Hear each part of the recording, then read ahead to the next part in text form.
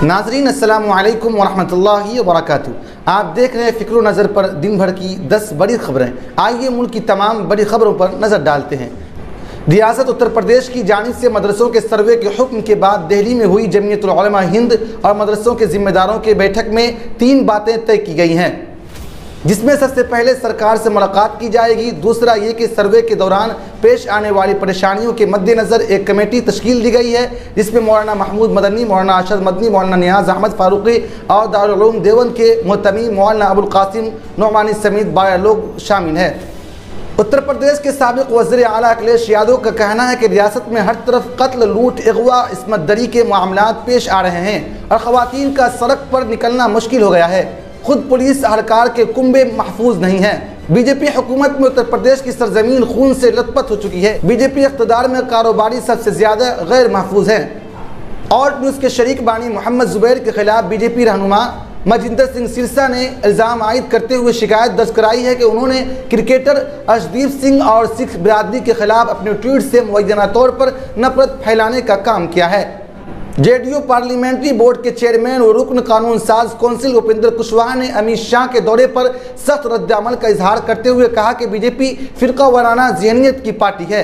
अमित शाह का दौरा बिहार की फिजा को बिगाड़ने की कोशिश है। इसी वजह से उन्होंने मुस्लिम अक्सरियती इलाके सीमांचल का इंतखब किया है ताकि इस हलके से एक तबका को टारगेट किया जाए और बिहार में हिंदू मुस्लिम कराने की कोशिश की जाए। हालाँकि वो इसमें नाकाम साबित होंगे। वजी अला नीतीश कुमार मिशन 2024 के सिलसिले में दिल्ली में मुख्तलिफ़ पार्टियों के रहनुमाओं से मुलाकात कर रहे हैं और इसी सिलसिले में उन्होंने सबसे पहले राहुल गांधी से उनकी तुगलक लैन वाक़ रिहाइश गाह पर मुलाकात की। माना जा रहा है कि दोनों रहनुमाओं ने 2024 के आम इंतबात में इतिहास से मुतल अहम बातचीत की है। अब आलमी खबरें। लिस तरस को बरतानिया का नया वजी अजम मंतखब कर लिया गया है। इस तरह हुक्मरान कंजर्वेटिव पार्टी की जानब से माजूल बोरिस जॉनसन की जगह नए रहनुमा के इंतखब के लिए छः हफ़्ते से जारी कंजर्वेटिव पार्टी का इंतखब मुकम्मल हो गया। थरेसा में और मार्गरेट थेचर के बाद इस तरस बरतानिया की तीसरी खातून वजी अजम बन गई हैं। लिस तरस ने भारतीय नजाद रहनुमा ऋषि सोनक को शिकस्त दी है। बांग्लादेश की वजी अजम शेख हसीना पीर को चार रोजा दौरे पर भारत पहुँची थी। वजी अजम नरेंद्र मोदी ने राष्ट्रपति भवन में उनका इस्तकबाल किया। इस मौके पर बांग्लादेश की वजी अजम ने उम्मीद ज़ाहिर की कि हिंदुस्तान और बांग्लादेश दोनों मिलकर न सिर्फ़ अपने ममालिक के लोगों के, बल्कि पूरे जनूबी एशिया के लोगों के म्यार ज़िंदगी को बेहतर बना सकते हैं।